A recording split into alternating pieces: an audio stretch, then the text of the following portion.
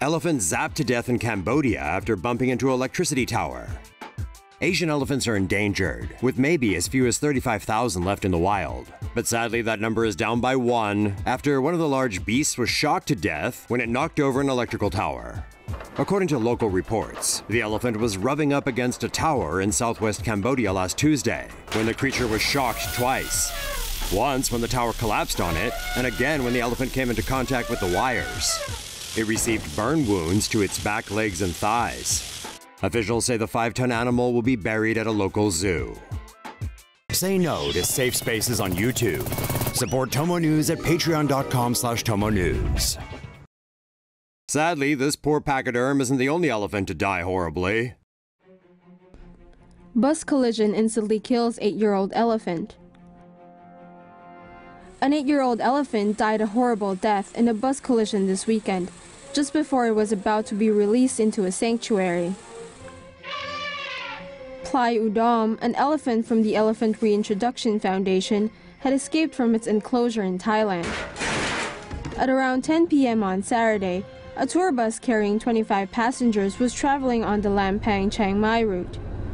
The elephant had wandered onto the dark road, and the bus was traveling at 60 miles per hour.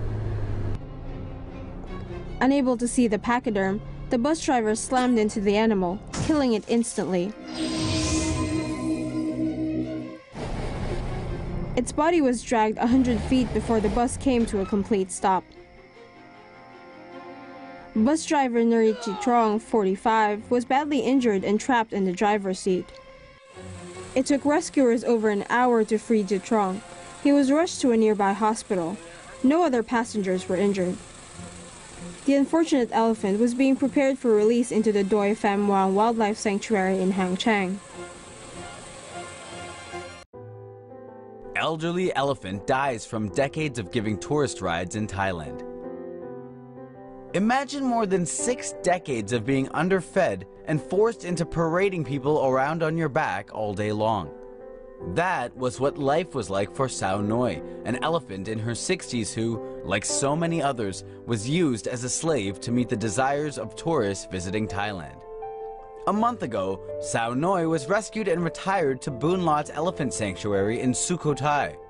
When she arrived, she was severely malnourished, her body emaciated, her bones brittle. But her spirit discovered new life at the sanctuary, making friends, enjoying space to roam, and falling in love with the forest. Not long into her new beginnings, her days were cut short, as she fell ill and began collapsing repeatedly, her human and elephant friends, like Buntong here, stayed by her side until her time had run out. When it finally did, the kind nurses and animal welfare staff at the sanctuary buried her in the forest, leaving her with fruits and flowers and blessings from some holy monks.